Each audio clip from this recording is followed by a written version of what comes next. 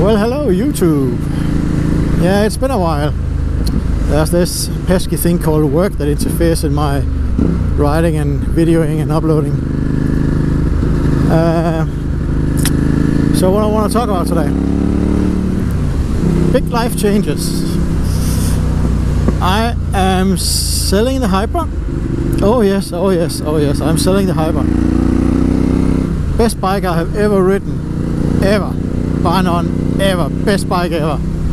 The Hypermotard. 821. I'm selling it. Why am I selling it? Well, I am, as you might know, living in Thailand, and that is coming to an end in about nine days' time. Then I'm moving back to Denmark. I was offered a job in Denmark, a very nice job, very good job.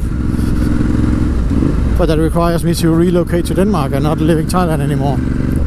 So that was almost 10 years in Thailand. Well, chuck that under the experience belt. So yeah, I'm out just uh, enjoying the last couple of days of ownership. Uh, so I'm doing a Samoeng loop today. And tomorrow I'll probably go up to Doi Ang Khang with a couple of friends. When I get to Denmark, what am I gonna get? What kind of bike am I gonna get? But to be honest, I'm leading very much toward a KTM uh, 690 Duke. So that might be my next bike.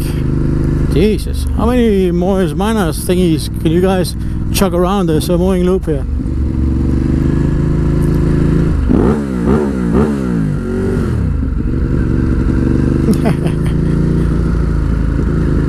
Jesus freaking Christ, that has a lot of these. Or maybe I should just borrow some money in the bank and buy a Hyper in Denmark.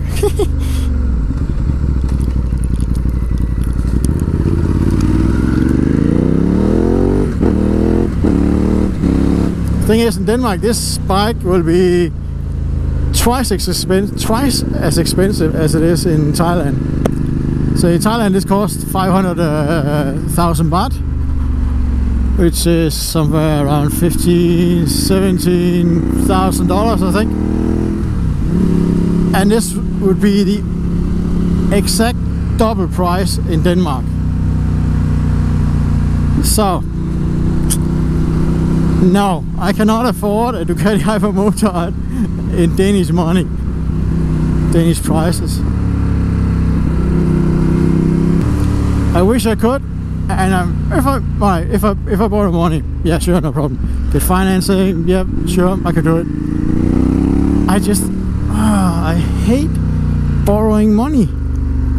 So you could go down and buy a KTM 390 outright just for the money I get from this. Yes, the money I get from this would actually pay for KTM 390 Duke. That's how big the prices are in Denmark compared to here. So, save up a couple of months and then get a KTM 690 Duke. Yeah, not bad. Great bike. Or borrow money in a bank and get another Ducati. Hmm. Hmm. Hmm. Hmm. Then on the other hand, if I'm gonna borrow money in a bank for a vehicle, why not get the KTM 1290 Super Duke? Hmm, now that's a thought. That would be nice, wouldn't it? Oh yeah. Decisions, decisions, decisions.